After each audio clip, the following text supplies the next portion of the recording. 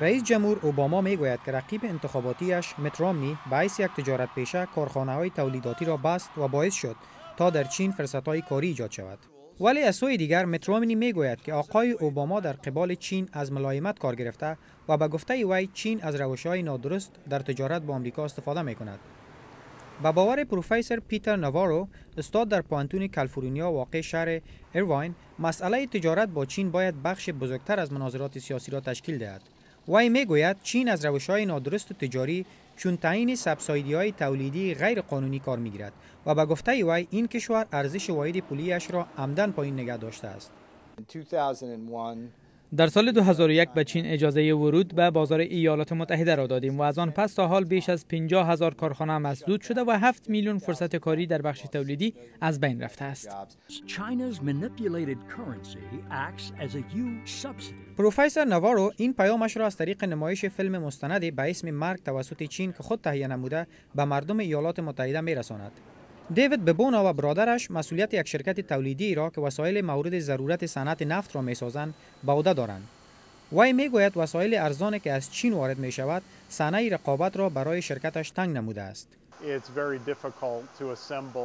بسیار مشکل است که هزاران قطعه وسایل را به اندازه قیمت وسایل چینی تولید کرد. اما همه امریکایی ها به این باور نیستند که تجارت با چین به اقتصاد امریکا ضربه زده است.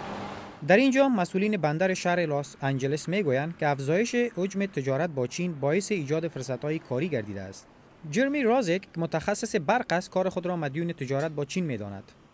کاملا همین طور است. در اینجا کاری که می‌کنیم به فایده ماست.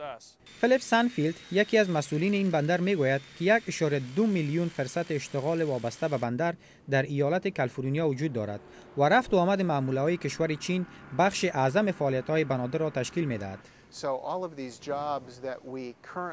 تمام شغل هایی را که فعلا در بندر داریم اکثرشان مرتبط به تجارت با چین می باشد.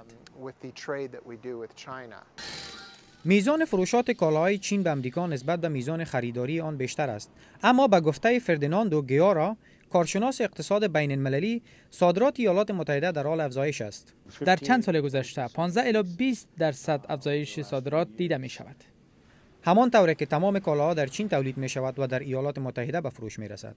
ما توانستیم تا تورم را که در نتیجه کالاهای ارزان چین به وجود آمده کنترل نماییم.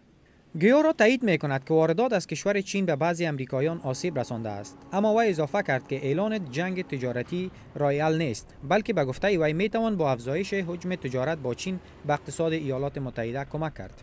میرویس رحمانی تلویزیون آشنای صدای امریکا واشنگتن.